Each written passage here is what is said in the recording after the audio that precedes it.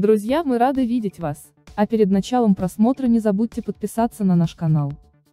На 76-м году ушла из жизни британская актриса театра и кино Никола Паже, Никола Педжет. Она умерла от осложнений, связанных с опухолью мозга.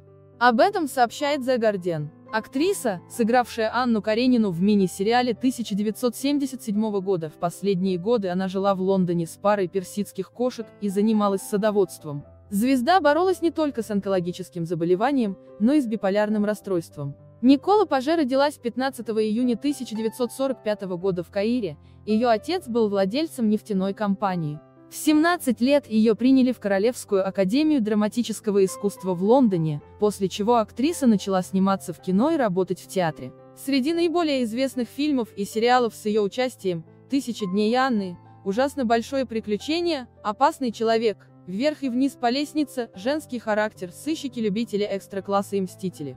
Не забудьте подписаться на наш канал, чтобы не пропускать свежие выпуски.